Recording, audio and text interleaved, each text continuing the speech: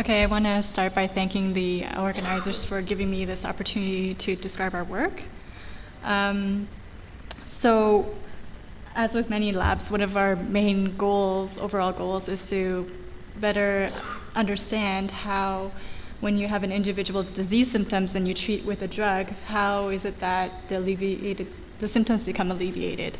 And by having a better understanding of how this works at the cellular level, uh, we hope to be able to predict then what are drugs that are both efficacious and safe. So our approach involves the budding yeast because um, the bar-coded deletion strain collections and, uh, allow us to uh, perform in vivo chemogenomic profiling. So briefly, what that entails is uh, treating each deletion strain with a compound and then measuring the resulting growth fitness, and uh, which can be either improved, reduced, or about the same.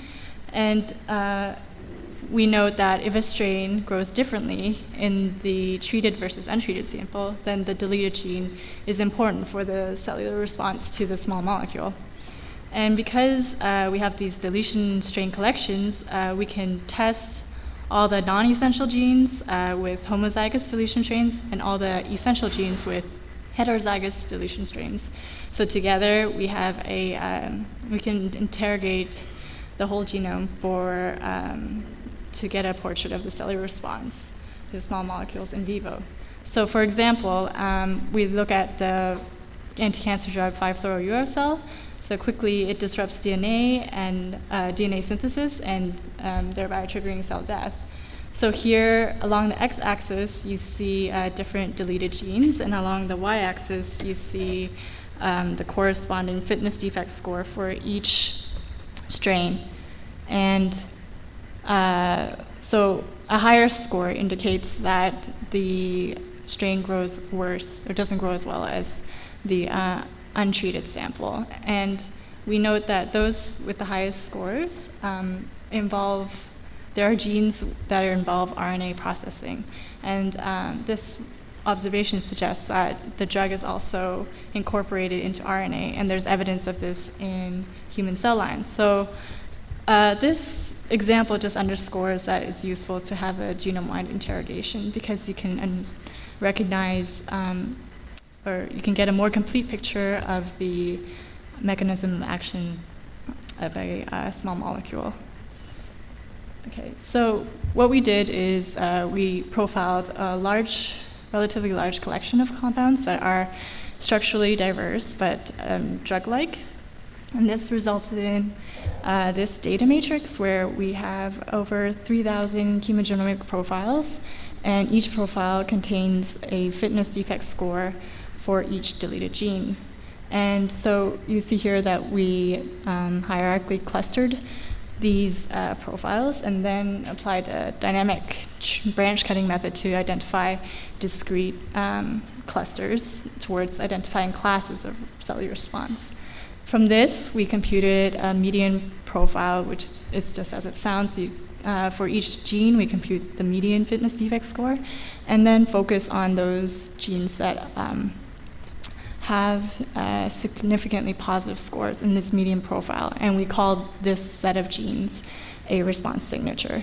Um, if we do a little bit of uh, functional analysis of these, uh, for example, this signature, we see that it's um, significantly enriched for uh, genes involved with DNA repair, so we call this specific signature um, DNA damage. Now, we um, identified 60 major response signatures that are shown in this network. Each blue node is a response signature. And uh, we connected to chemical moiety nodes, the, the white ones, if uh, the compounds that induce that signature are enriched for the um, for specific chemical moieties. For example, um, I can't point it out exactly there, but uh, the uracil transport signature is linked to um, the uracil chemical moiety as expected. So uh, in total, there are 32 signatures that are linked to um, specific chemical moieties, so that's around half.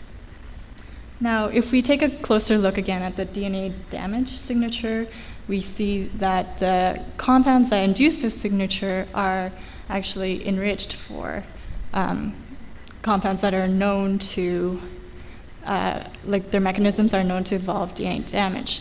And in fact, for uh, 26% of our signatures, we observe something similar where the associated compounds are have similar bioactivity. So what this implies is that we can use a guilt by signature association approach to infer the mechanisms of uncharacterized small molecules. For example, uh, 4-NQO is known to be in, um, this, its mechanism is known to involve DNA damage, and this other compound beside it is uncharacterized. But uh, this, the heat map there shows that the genes that are signif have significant, significant fitness defect scores for in both of their profiles, and these uh, genes include some of the RAD genes that we saw in the DNA damage signature. So we uh, infer that because they both induce the DNA damage signature, that the uncharacterized compound also uh, has a mechanism related to DNA damage. And on top of that, both of these uh, structures have nit uh, nitro groups as shown in green. So uh, we also consider thinking of, again, these response signatures are actually gene sets, and we were wondering if we could find these gene sets in other genomic data sets. So here we focus on genes that have ne negative genetic interactors, but their genetic interactors are not enriched for any Go process function complexes, et cetera. So um, those are the diamond nodes. And then what we observed is that they are in fact enriched for specific signatures. So the blue nodes again. So if uh, a set of negative genetic interactions is enriched for a signature, there's an edge connecting the two. And so what this suggests is that maybe these signatures can also be used to help characterize other um, genomic profiles in addition to applying your traditional like functional analysis methods. So as an example, uh, the yellow diamonds are uncharacterized genes, and one of them um, is YPL109C which is localized to the mitochondria, but otherwise we don't know what it does. And here we see that it is linked to the um, cytochrome C oxidase uh, response signature, providing a bit more information about what it might, um, what the function of that gene is. Now, we also looked at uh, when we focus on pro the profiles associated with a specific signature, we can check whether genes are correlated across these profiles, um, meaning, and we call this that they have, um, sorry, we say that these gene pairs are co-fit gene pairs. Now, we ask if one of the genes is in one process and the other is in a different process. So if we look at this example, the ubiquinone biosynthesis and proteasome signature, each node represents a Go biological process that is enriched in the signature, but the edges are indicative of uh, co-fit genes.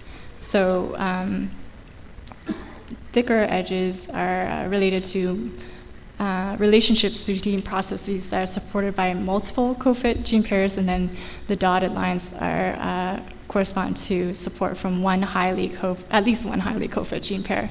So in red, I highlight um, the namesake for this signature, the relationship suggested between prote the proteasome and ubiquinone biosynthesis. And it turns out that this relationship is also supported by nine genetic interactions and also one physical interactions, which kind of highlights the uh, complementary nature of our um, genomic data set to other interactome data sets. We also, uh, I also highlight this um, signature, the Neo1PIC1 signature, and um, here, the relationship between diphthamide biosynthesis and histone exchange in red appears to be novel, but um, it also, uh, since it's novel, it might be the case that this relationship is conditional on perturbations that induce the NEO1 or PIC1 response. So now if we take a closer look at these uh, NEO1 based signatures, where NEO1 is an aminophospholipid flippase, we find that they're characterized by uh, NEO1 haploinsufficiency. Um, these are some of the compounds that induce the signature, and, and those with the green square are uh, cationic amphiphilic drugs, and we find that this set of compounds are uh, significantly enriched for um, CADs for short. Now, we also know that CADs are linked to drug-induced phospholipidosis, uh, uh, sorry, a lipid storage disorder. And this disorder arises from the accumulation of CADs in acidic vacuoles and in yeast and in the lysosome for mammalian cells. So here we're wondering if uh, NEO1 haploinsufficiency could be a phenotype that can act as a proxy for the drug-induced phospholipidosis phenotype. And to uh, investigate that, we looked at the growth of the NEO1 uh, heterozygous solution strain. And uh, here, the black curve is just the vehicle mock treatment curve, and the gold curve is uh, tamoxifen, which is a uh, compound that induces the NEO1 signature, and it's also a CAD. And we see that it has, uh, it exhibits NEO1 haploinsufficiency as expected. But when we also treat with bafilomycin A, which is an inhibitor of the uh, yeast vacuolar proton ATPase, and therefore disrupts um, vacuolar acidification in yeast, we find that um, the addition of bafil- A rescues the NEO1 haploinsufficiency phenotype. And this is in line with um, NEO1 haploinsufficiency as a um, kind of proxy for the DIPL phenotype. So, in addition to doing that, we built a model using uh, structural features of our known NEO1 compounds to predict uh, unknown, like pre- compounds that are not known to be associated with NEO1. And while this model performs um, better than random at predicting those compounds, we also show in this plot here that it also predicts better than random at predicting compounds that cause DIPL, so based on structure alone. So this kind of reiterates the link between uh, NEO1 and the storage disorder. So in summary, uh, we were able to use our chemogenomic data set to identify um, several signatures of cellular response, and these signatures can be used to uh, for several different applications that I uh, will just go over quickly. Uh, one, to infer mechanisms of uncharacterized compounds. Two, to characterize other genomic profiles, which, uh, in my example, allowed potential characterization of genes as well. And then to uh, the signatures allow the identification of relationships between processes, some that might be conditional. And uh, we also identify relationships between structural features and cellular responses. While, um, and lastly, the NEO1 example uh, identifies a relationship between a gene and a specific side effect, the DIPL, which suggests that perhaps the human orthologs of this of NEO1 can be used as a biomarker for the disorder because uh, currently there's no clinical test for it. So, uh, with that, I'd like to acknowledge my supervisors, Guri Giaever and Corey Nislow, who are now at UBC, uh, Rob St. Onge at Stanford, who helps. Uh, who led the screening efforts, Ian Wallace helped with computational analysis, and Gary Bader, who helped guide the computational analysis. And thank you for your attention. Thanks.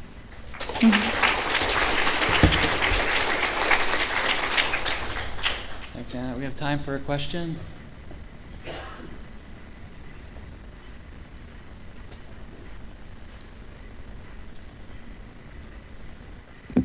Hi. Um, I was just wondering if you've considered biclustering uh, some of these matrices to get some of the conditionality out of there. Yeah, we did that. Um, it seems like a more direct way, right? But uh, so w- we did see some uh, overlap between the clusters that we I identified by the method I showed here. But uh, what the reason why I present this one is because we kind of wanted to stick with the hierarchical structure because some of the known chemical, I mean not known, but existing chemical ontologies are hierarchical in nature, so it would be good to compare at some point. Yeah, Great. thanks. With that, I'd like to thank all the speakers of this session.